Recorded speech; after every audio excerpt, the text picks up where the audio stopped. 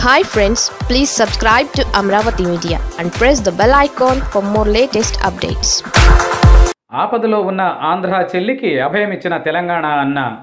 తెలంగాణ మంత్రి కేటీఆర్ మరోసారి తన గొప్ప వ్యక్తిత్వాన్ని నిరూపించుకున్నారు. ఆంధ్రాకు చెందిన ఒక యువతి ట్విట్టర్ ద్వారా తన బాధను కేటీఆర్కు విన్నవించుకుంది.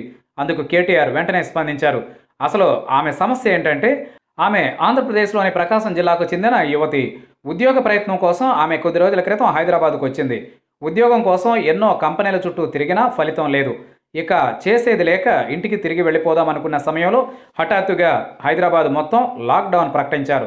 దాంతో బస్సులు రైళ్ళు ఇలా ఇతర రవాణా సర్వీసులన్నీ నిలిచిపోయాయి. ఇక ఆమెకు ఎటు వెళ్ళలేని పరిస్థితి. ఇంతలో ఆమె తెచ్చుకున్న డబ్బులు మొత్తం అయిపోయే స్థితికి వచ్చింది. తినడానికి తిండి లేక ఉండడానికి వసతి లేక ఆమె చాలా ఇబ్బందులు పడుతోంది. ఆమెకేం చేయాలో అర్థం కావడం లేదు. ఇక తన పరిస్థితిని ఎలాగైనా మంత్రి కేటీఆర్కు తెలియజేయాలని ఆమె నిర్ణయించుకుంది. అందుకు ఆమె ట్విట్టర్ను ఉపయోగించి ఒక ట్వీట్తో తన సమస్యను కేటీఆర్కు తెలిసేలా చేసింది. ఆమె తన ట్వీట్లో మాది ప్రకాశం జిల్లా.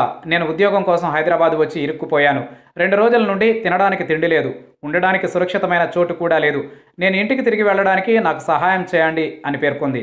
ఆ ట్వీట్ మంత్రి కేటీఆర్ చెంతకు చేరడంతో ఆయనే స్వయంగా స్పందించారు.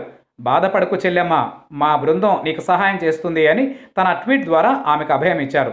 ఆయన ట్వీట్ చాలా మందిని కదిలించింది. వాళ్ళు కూడా ఆమెకు సహాయం చేయడానికి ముందుకు వస్తున్నారు. సిటీ పోలీసులు కూడా ఆమె వివరాలు సేకరించే పనిలో ఉన్నారు.